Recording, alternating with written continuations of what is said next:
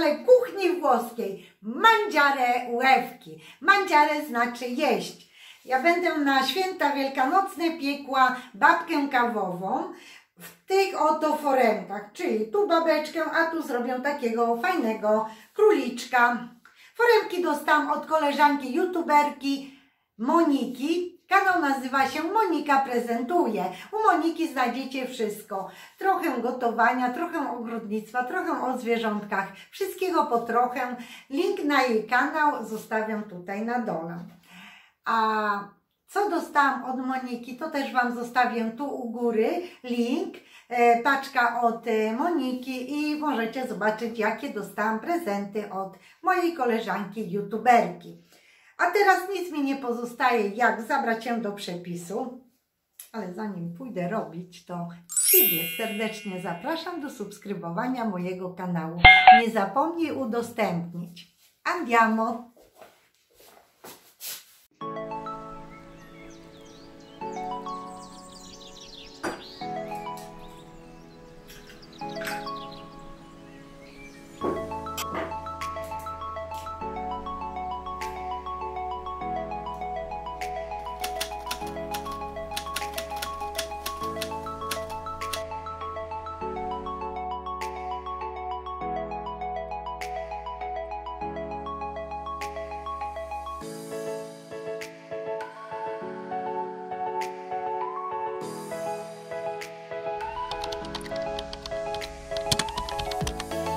Osoby, które lubią piec i lubią babki lub inne ciasta, na to wszystko zostawiam Wam linki pod tym filmikiem.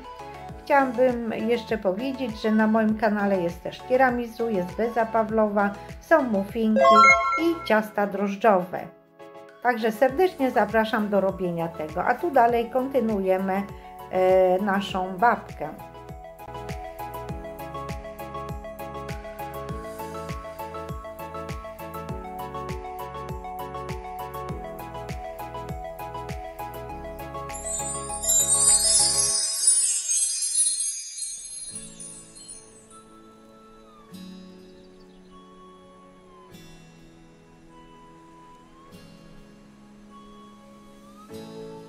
Tutaj wkładam do połowy formy, pozostałe ciasto wykładam do drugiej foremki.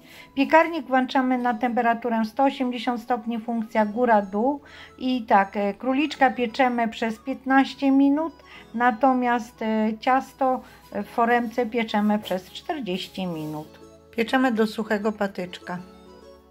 Słuchajcie, i tak wyszła moja babeczka e, i zajączek. Vieni Alessandro, fai vedere perché Zajączek mi się rozwalił, króliczek i tutaj takie właśnie wzięłam duże wykałaczki. Nie jest polukrowany, każdy sobie może polukrować jak mu się podoba, ja nie lukruję. A tu jest ta babka kawowa, mm, też można ją polukrować, rędzimę, też można polukrować, ale ja ją tylko posypałam y, cukrem pudry. Tak, tak wygląda. Środku tak, Aleksandro. Już Wam mówię, jak smakuje. Dobrze, dobra. Serdecznie Was zapraszam do robienia takiej babki. Życzę Wam wszystkiego najlepszego z okazji tych świąt. Po włosku auguri buona pasqua. Mm, tak jak Wam powiedziałam, przepis wzięłam z kanału Fatto in Casa da Benedetta. Link na ten kanał zostawiam Wam na dole do, do tej wspaniałej kobiety, która gotuje. To jest youtuberka włoska. A teraz zapraszam Was na inny przepis.